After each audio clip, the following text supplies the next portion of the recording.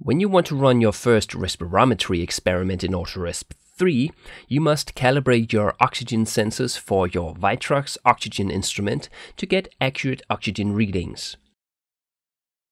Calibrating the oxygen sensor can be done in the calibration menu, but before entering, your Witrox must be connected in the devices menu first.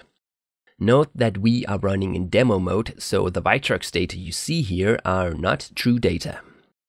You must also make sure to have your oxygen sensors connected to your oxygen channels on your Witrox and the temperature probe connected to the temperature channel as well. Upon entering the calibration menu, you will find your Witrox instruments displayed in tabs at the top and their respective phase, amplitude, oxygen, and temperature real-time data graphs showed in subtabs underneath. Each oxygen channel is represented in the legend panel on the right, and the value here is the real-time value read by the Witrox, or the value that you have your cursor placed on. The little settings icon here we will get to in a second. But first, some notes about the parameters in the subtabs. The phase value is the raw oxygen sensor signal from the optode, and the unit is phase angle. It basically measures the phase shift in the blue light from the instrument caused by fluorescence at the sensor dye. At 100% air saturation, a new sensor will give a phase value of approximately 28. Near 0% air saturation, the phase value will be approximately 58.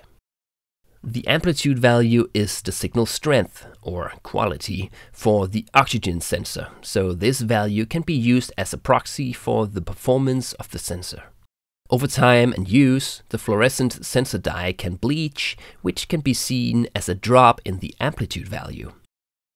If the amplitude value becomes too low, it will affect the accuracy and stability of the oxygen readings.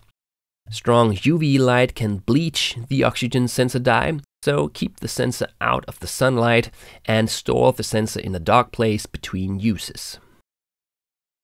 At amplitude values of below 3000, you should replace the sensor to ensure proper accuracy. Note that changes in the ambient light conditions during measurements can affect the oxygen readings, even if the oxygen sensor has a black optical insulation top layer so avoid direct fluorescent lighting in the lab. The oxygen graph shows the real-time oxygen value read by the Witrox. But the value you see here is dependent on the calibration settings, so if you haven't performed a two-point calibration, you might see some strange data. We will get to the actual calibration in a moment, but first some details about this last temperature tab. Fluorescence or luminescence based oxygen sensors are very temperature sensitive. So it is important to compensate the oxygen data according to the sample temperature during calibration and measurements.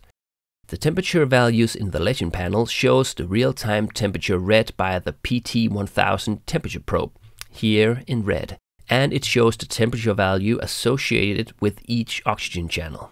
Currently, all the values are the same, and if we open the settings menu for either of the channels, we find that the input is set to Witrox.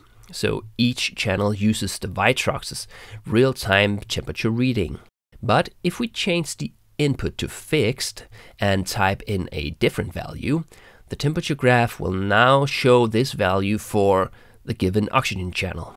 Using a fixed temperature value can be useful in some situations, but only if you're able to control and maintain the sample temperature within plus minus 0.25 degrees Celsius, as larger fluctuations can change the oxygen reading by several percent.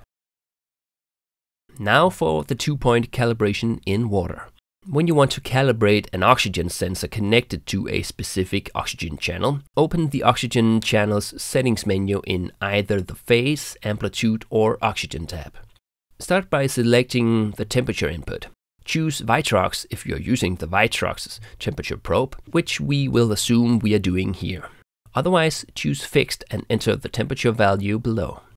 You can copy this choice to the other three channels using this button here. Now place the temperature probe in a mixed air equilibrated water sample. This water sample can be achieved by perching atmospheric air into the water sample using an air pump.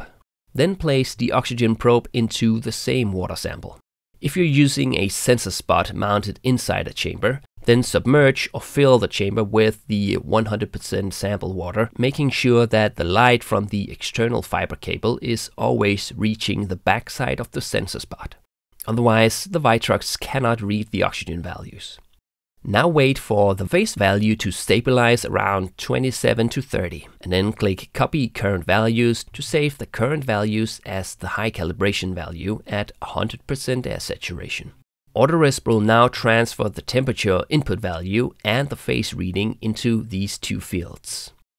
Now transfer the oxygen sensor to an oxygen-free water sample for example, by perching nitrogen gas into the water sample or by dissolving around 10 grams of sodium sulfide into 500 milliliters of distilled water.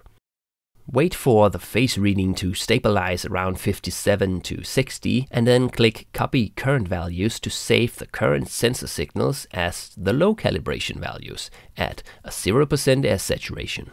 Click OK. And that's it. You have now performed a two-point calibration of your oxygen sensor.